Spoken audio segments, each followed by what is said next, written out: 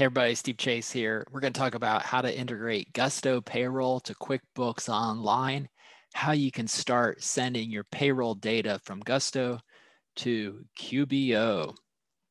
To begin, let's go ahead and share screen and here we go. Awesome.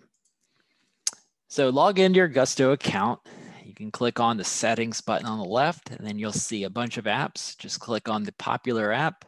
Once you're in the popular app, you should see QuickBooks right off the way. Select connect. That will prompt you to sign into your Intuit account.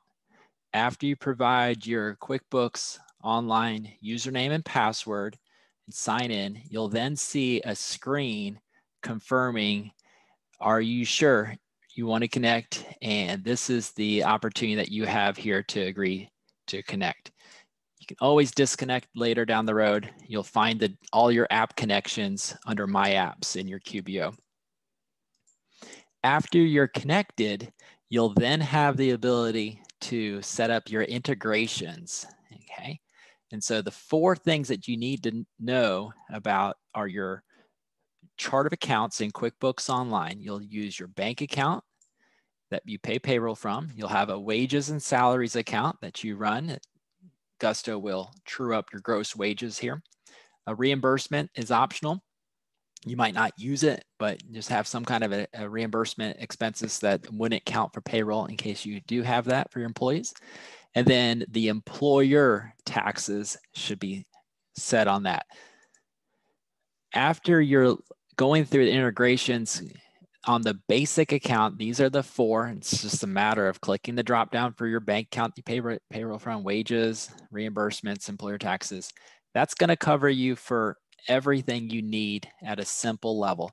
For those of you that like to div, dive a little bit deeper, you can click on the advanced and you'll just see more mappings, like for example, vacation.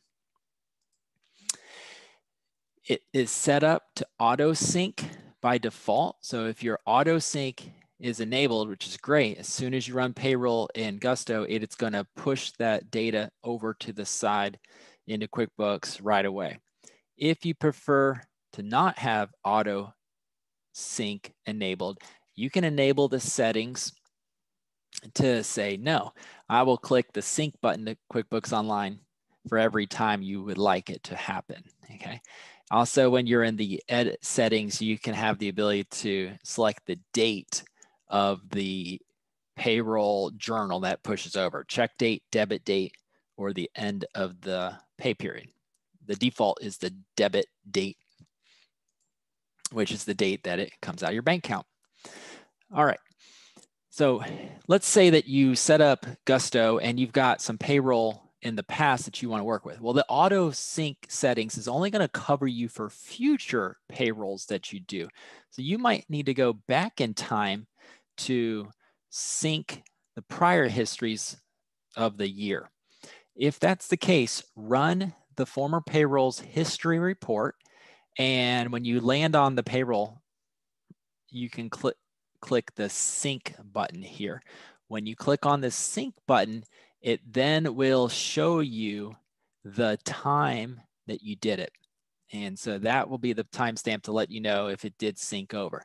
Once you sync a former payroll up, uh, you'll then have a journal entry that immediately goes over to QuickBooks Online.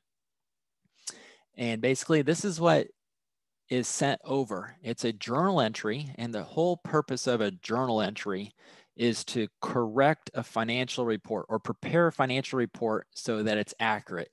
The way that it's accurate is Gusto will send over the gross wages as the debit and it will split up the employer taxes and put that under debit. So debits in a journal entry are your expenses. These two right here, whatever that dollar amount is, is going to be the total amount of payroll and the total amount of payroll taxes that your the employer pays.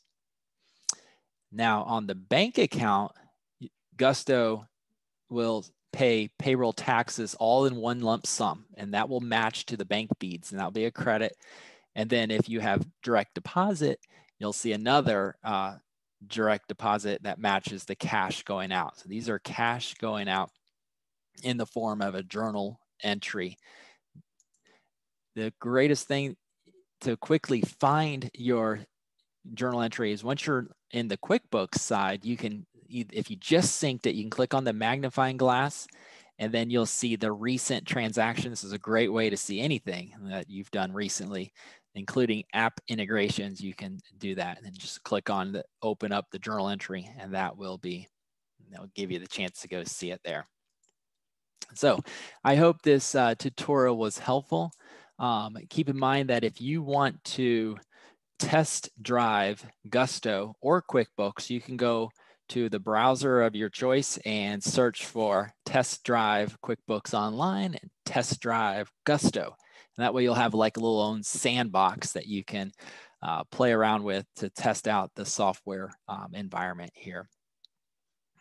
Hey, this has uh, been really, really fun sharing with you about Gusto and QuickBooks. I know that it has been really two great tools that help my clients out tremendously. So I definitely uh, would favor a small business owner that's not quite sure about which payroll company they want to work with to go out and try Gusto.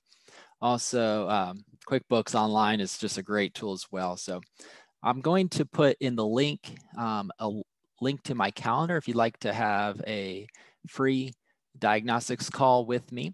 You can schedule um, a session with me to talk about these integrations as well as um, just talk about just how, how you might want to just have a little checkup on your bookkeeping work and just look to see if things are in place. Be happy to to look at that. It's and uh, give you some help and so forth. Uh, definitely.